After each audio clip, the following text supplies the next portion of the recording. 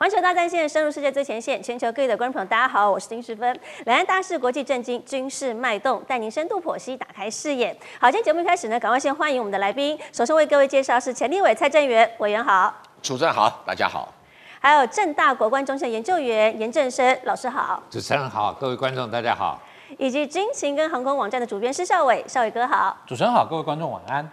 好，观众朋友，这个礼拜全世界的焦点通通放在了奥运场上，因为现在进入到了倒数关键周了，几乎每一场的赛事现在都叫做夺牌战。那这段聚焦一样要锁定在泳池赛场，因为过去这都是西方称霸的水中竞赛，今年大陆一直不断在刷新纪录。我们来看到最新夺牌项目是男子的混合接力四百公尺的这个比赛，大陆组呢又再度逆转夺金，而且中断了美国在这个项目四十年的历史霸业。那最后一棒。焦点还是他潘展乐，最后二十五米他冲出来，现在有个新称号叫他中国飞鱼。我们来看一下这场精彩的竞赛式的赛事当中，好，四百公尺的混合接力男子比赛，那中国队派出第一棒是许家瑜，最后一棒依旧是潘展乐。那在这一次的比赛，潘展乐。最后啊，在这个一百米的这个项目当中，他是以四十五点九二秒的创新纪录又再度完成，所以帮助中国大陆在这个项目当中逆转夺金。这个项目过去都是。美国称霸天下，但今年完全不一样了。我想先问一下蔡委员，我们看一下这次来讲这个中国飞鱼潘展乐，他在奥运会上这一次真的是非常非常的火烫。之前一百米的自由式决赛他就已经创纪录了，那这一次是在混合接力当中带领了大陆队再次逆势夺金，赢了美国，赢了所有西方国家。所以过去大家都说这个泳池赛场上谁说中国人做不到，现在好像不一样了。美国人尤其运动界常常有一句话：游泳池是白色的，也就是说，只有白种人可以在游泳池上面哈乘胜哈这个获金。嗯。可是以前哦，也有日本人曾经闯进去过，可是很快啊被淘汰下来，就没想到来了中国大军，他不是一个，不是两个，日本人以前表现就是一个啊，打不了两个，现在中国是一群啊，所以中国飞鱼不是。不是一只，是好一群，通通来了。这证实说，中国体坛界在推动这个游泳池的这一项运动，不管自由式、蝶式啊、混合式啊、啊接力赛啊，各种，还有跳水啊，还有跳水等等，表现都出乎西洋人的这个想象之外。嗯，尤其是潘展乐哈，他第夺到第一个金牌啊，才十九岁。第二个金牌就是满二十岁，刚满嘛，因为八月四号生日，哎，对，刚满，刚满。那这样的一个速度哈，我们可以看得出来，美国人、澳洲人都很不服气，因为这个牌啊，不是美国，就是澳洲，哎，不然就是就加拿大也拿过嘛，大概欧洲这些国家，哎，对，就是欧洲的国家都是白人为主，哎，怎么来个黄皮肤了这么行哈？我们看潘展乐哈，他既有训练，更有天分。你你看到水中的那个那个泳，他在一百公尺破纪录的那一刹那，你只要看个他，因为游泳池不是一百公尺，游泳池五十公尺，所以他五十公尺要回头，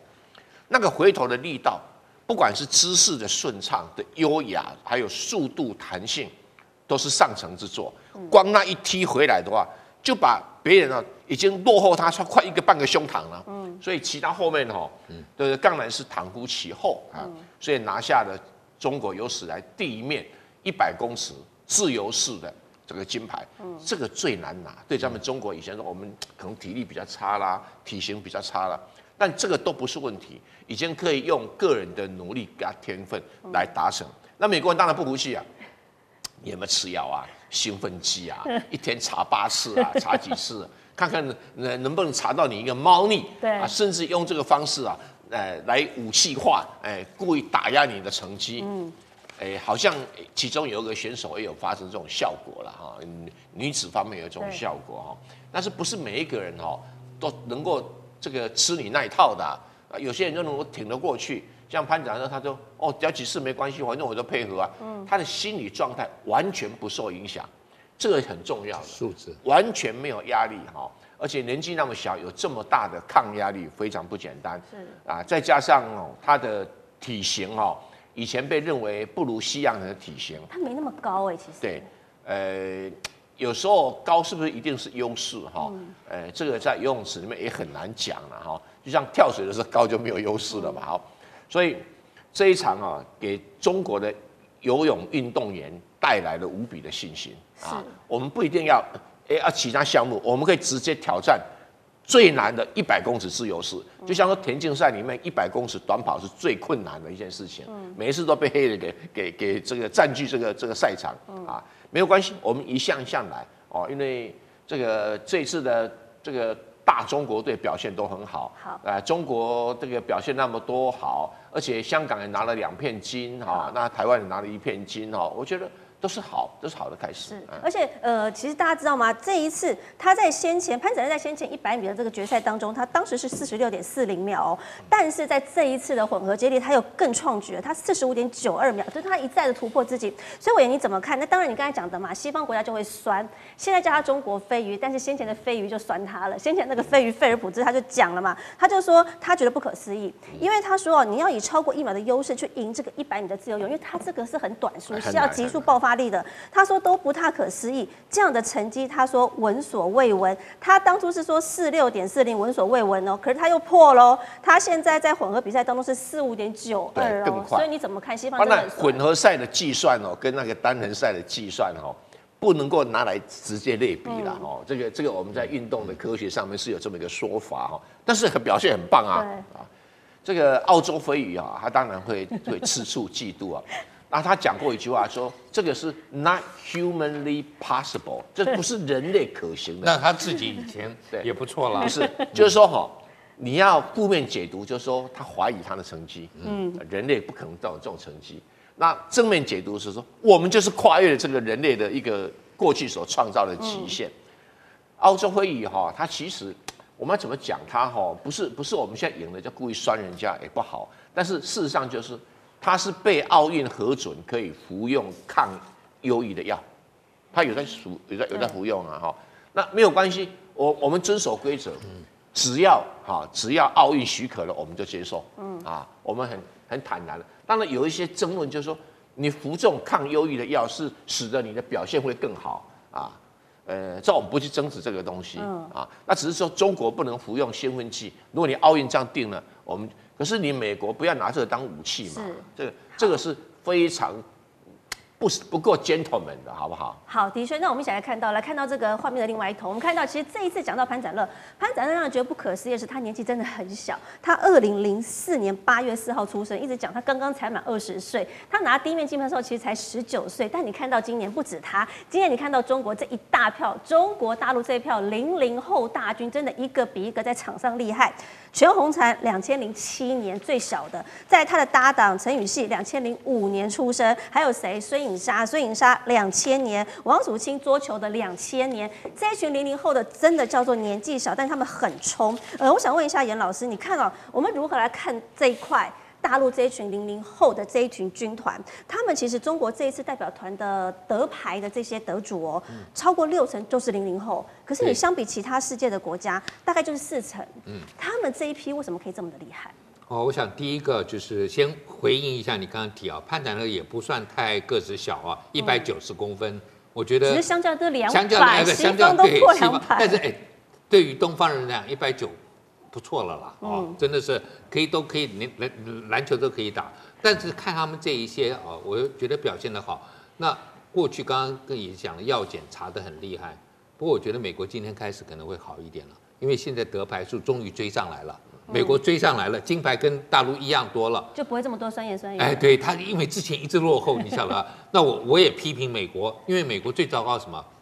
他拿了一大堆铜牌跟银牌，所以他就说我们算总牌数了、啊，不算不算金牌了。那现在哎平手了，平手他就赢了，因为他其其他的牌比大陆多嘛。那可是我觉得美国现在是紧张了啊，就是这么多零零后的，年纪轻，那而且是在一些不同的项目，我觉得这一点哦，就是就是美国过去会有，我们大家都会有一个既定印象，譬如说哦，韩国可能是这个射箭，对不对？啊，他们就是有女子射射箭，就是有一些项目他们会觉得那是你们的，我不跟你们争了。可是游泳这是我的痉挛呢，怎么可能让你进来？结果现在进来了，那问问题会是全面。我觉得包括啊，我觉得像体操项目也是一样啊，亚亚洲的这个选手越来表现越好，我觉得这点美国也要慢慢要开始要接受这一些。那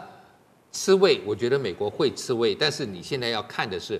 我我帮美国稍微化解一下它的难处，好不好？说我们奖牌，你看跟中国拿一样多，可我们人口只有它四分之一，嗯，这样这样子就会好过一些嘛，对不对？而且美国应该这样想，哎，还有一个超过我们四倍的人口的印度，那个奖牌简直不能看，嗯，对不对？那你这样子这样算算，美国奖牌其实表现的不错，不过大陆我觉得。过去大家美国会讲说，哎，他说你看你们这些零零后都是经过很严密的训练，而且这是在中国经济起飞之后啊，这个整个的我们讲预算也好，或者对于这个呃这个运动的科学的研究，甚至是这个营养，甚至怎么样来来打造一个好的体体质啊，心理的素质的，我觉得他们大概全面都有做啊。那可是从这个角度来看。美美国也应该去想想，你你去批评比较威权的国家，可能好像把运动稍微太太太注重，你美国不注重吗？美国哎，美国哇，美国这些所谓培养奥运选手的那个那个体操队的一些也哎也不遑多让啊。我觉得别你不要好像讲的是我们现在回头去想奥运一百年前那个时候是是是。个人业余的哦，不是职业的哦，现在已经完全几乎就是职业的嘛，对不对？所以这个是不一样的。好，的确，而且为什么紧张？因为这些零零后，你不要看他们只参加这一届哦，以他们 的年纪，一到两届接下来都没有问题哦。那当然，西方国家就要讲话。我们来看一下，连国际奥委会都跳出来了。国际奥委会怎么说的啊？国际奥委会这样说，在八月二号的最新发言说啊，中国的游泳队啊，今年是已经要检了六百多次。他说啊，这是巴黎奥运上目前接受兴奋剂检测最多的队伍。那当然，这段话听在中国大陆网友心里就不是滋味嘛。你对比一下哦，我们用照片来看，他说你看看这些美国队的选手，每一次比赛完哦。那个脸都晒成像这样的紫薯队的状况。他说，到底谁有吃禁药？好像看起来是不是你怎么不管一管美国呢？而且来看一下这个复旦大学的国际政治系的教授，他也这样讲了。他就说，他说美国跟西方国家这些媒体，他似乎是在用药检武器化去干扰了所谓的中国队的训练。所以，少伟哥你怎么来看？现在好像从这一届奥运开始，他们这个西方国家跟美国似乎就开始把这个药检成为这个好像霸凌中国的武器之一嘛？呃，应该这样说了。其实我是觉得大概。应该是这几年来哈，就是因为西方社会开始对中那个中国大陆的一切的这个呃产生的这种不信任感的影响，也就是说，因为原本他们可能认为